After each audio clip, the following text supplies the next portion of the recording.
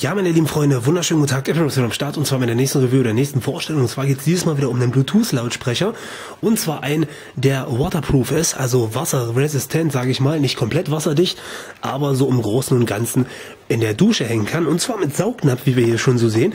Der kommt in einer stylischen Verpackung daher. Hier ist es unten abgebildet und so sieht er von oben aus. Sieht so aus, als wenn er irgendwo mal an der Stange hing zum Verkauf und kommt, wie gesagt, in einem Cube daher. So, Jetzt seht ihr natürlich erstmal haben wir hier schwarzen Klavierlack, so wie das Ganze hier aussieht, und eine gummierte Tastenoberfläche, wo wir natürlich vor, zurück, minus, also leise, laut, einschalten, ausschalten und Telefonannahme drin haben. So wie hier oben, nehmen wir den mal raus. Was haben wir da? Müsste der Micro-USB-Eingang sein. Oder ist das etwa Klinkenstecker? Klinkenstecker könnte das sein, durchaus. Und hier unten muss ja dann irgendwo noch Micro-USB sein. Wo ist denn der jetzt? Oder Moment, ist das etwa der Ladestecker? Sieht der etwa anders aus? Kriege ich das hier nicht raus? Das ist ja auch eine Sache. Guck mal einer an. So. Ein paar Mal geworfen, kommt es von alleine raus. Da ist der Speaker. Abgebildet. IP67 hat er. Er ist also staubgeschützt und wassergeschützt. Dann eine eingebaute Batterie, das haben wir ja auch so erwartet, eingebautes Mikrofon und als äh, Freisprecheinlage ist der natürlich nutzbar. USB-Charger, gucken wir mal, ob der hier alles klar, okay, habe ich mich vertan, ist kein Klinkenstecker, wäre auch sinnfrei, wenn man hier nämlich einen Klinkenstecker oben reinmachen würde, dann hätte man ja nicht die, also die Wassereigenschaft gegeben, beziehungsweise wäre es ja nicht wasserdicht. Also kommt der hier so rein, dann wird das Ganze aufgeladen über USB. So funktioniert es also. Okay, wenn man geladen hat, stöpselt man wieder drauf, zack, dann kommt er an die Wand dran und dann hält er auch und dann ist er dicht. Kann man das hier abziehen? Nee, sieht nicht so aus. Auf jeden Fall ein riesengroßer Saugnapf. Das ist schon mal nicht schlecht. Hier schaltet man den wie gesagt ein und ansonsten haben wir richtig schön, also er fühlt sich auch ganz glatt an, also richtig wie Klavierlack. So, wer die PlayStation 3 kennt, allglatt. Nicht schlecht. Ist auch nicht gerade schwer. Steht hier eine Grammanzahl drauf? Nee. Vielleicht steht es ja hier in der Anleitung weiter drin. Wir haben auf jeden Fall eine 650 mAh Batterie eingebaut. Und er lädt drei Stunden ungefähr und sechs Stunden spielt er das also ungefähr wieder ab. Je nachdem, wie die Lautstärke wahrscheinlich dann ist. Hier ist nochmal alles erklärt, aber das brauchen wir eigentlich nicht weiter lesen, weil es sich immer von selbst erklärt. 100 Hertz Okay, 100 Hertz bis 2,4 Gigahertz, das kann nicht sein, aber 100 Hertz bis, denke ich mal, 20.000 Kilohertz wäre schon möglich gewesen. Also 100 Hertz ist ja dann die Bassfrequenz, wie viel der wiedergibt, bei 3 Watt. Die hat er drinne und er arbeitet im Umkreis von 10 Metern. Das Pairing müsste ja wieder so funktionieren, wie wir das eigentlich kennen.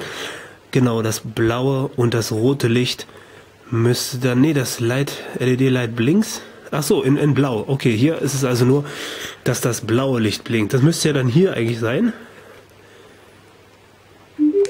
Ach, da ist es. Okay, ich dachte, dann ist das das Mikrofon. Da sieht man es blinken. Es blinkt jetzt rapid. Also denke ich mal, wird es jetzt gleich connected werden. Das machen wir mal. Ich habe da noch auch nichts gemacht. Bluetooth.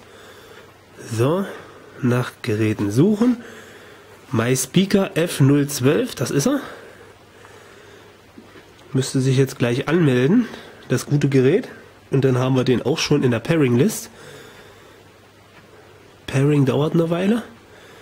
Ja, da ist er dabei. Sehr schön. Jetzt ist er verbunden. Und dann müssen wir mal gucken, da der Sound nach unten rausgegeben wird. Also ich denke mal größtenteils hier unter dem Saugnapf und nicht mal hier so, weil hier ist eigentlich nicht durchlässig. Wenn man den jetzt so anhängt in der Dusche, hm, na gut, von oben kommt das Wasser. Naja, das kann man ja alles mal dann ausprobieren. Ich werde es jetzt hier nicht zeigen, weil das ist einfach zu riskant, wenn der Speaker dann doch mal kaputt geht. Muss halt jeder für sich selbst entscheiden. Ich würde ihn zum Beispiel nicht unter strömendem Wasser anbringen. So, dann schauen wir mal ganz kurz drauf. No Copyright. Aha. Okay, jetzt brauche ich bloß gedrückt halten lauter. Okay, meldet sich auch wieder, wenn er ganz laut geworden ist. Das war es dann schon wieder an der Stelle. Und dann müssen wir gucken, wie viel Lautstärke haben wir hier. Hälfte gerade mal. Das ist ja noch nicht drin. So, schauen wir mal. Spulen wir mal kurz rein. Und dann lassen wir den mal auf volle Lautstärke kurz mal laufen.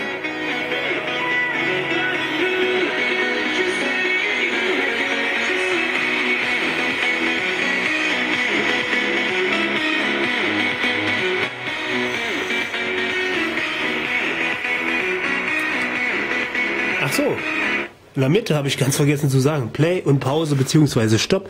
Hier. Okay, der vibriert ganz gut. Hat aber jetzt vom Hören her nicht so einen überwältigenden Bass, was bei 3 Watt auch kein Problem ist. Dafür ist aber sehr kompakt und er soll ja auch relativ wasserdicht sein. Und der Sound geht nach unten raus. Genau nach da. Klare Töne auf jeden Fall und vibrieren tut er wirklich gut. Aber da kann man natürlich jetzt keine Wunder erwarten. Machen wir kurz den Basstest hier an. Beziehungsweise hier, Moment, wo haben wir es denn hier? Die Signalfrequenz. Hab hier so einen Test drauf. Der läuft dann hoch von 20 Hertz. 32, da hört man langsam was. Natürlich nicht gerade die Welt, aber er fängt an zu vibrieren. So langsam ist es hörbar, ab 50 Hertz. Da darf man die ja auch nicht mit schrotten. Ich habe jetzt volle Lautstärke einfach mal eingestellt, nicht dass er gleich anfängt zu qualmen. Also bei 80, bei 90, bei 100 Hertz. Bei 100 Hertz vibriert er auf jeden Fall sehr gut. Na nu, wollte gerade sagen, muss auch mal Pause gehen. Ja, wie gesagt, also das funktioniert alles ohne Probleme. Pairing geht sehr schnell. Die Musikqualität ist für die Dusche auf jeden Fall ausreichend, beziehungsweise für die Feuchtigkeit im Badezimmer. Und den kann man ja mal dann hier mal gucken, ob der an der Schrankwand hält. mal gucken, wie lange ist ja Holz. Da hält das Ganze eigentlich nicht so gut. Aber es funktioniert trotz alledem, wie man sieht. Und der, Mag äh, der Magnet, der Saugnapf hat auf jeden Fall eine gute Kraft. Und äh, wenn man das an Fliesen macht, also an einer glatten Oberfläche, dürfte der also nicht runterfallen. Der fällt ja auch nicht runter, bin ich ja begeistert, sogar am Holz hält der auch. Vielleicht nicht ganz bombenfest. Ich würde dafür meine Hand jetzt nicht ins Feuer legen. Wenn er jetzt runterknallt, ist es zu spät.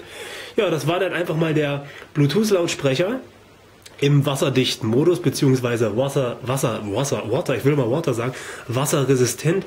Coole Sache eigentlich an der Stelle erstmal und wir sehen uns wie immer bei der nächsten Review oder App-Review. Bis dahin, auf Wiederschauen.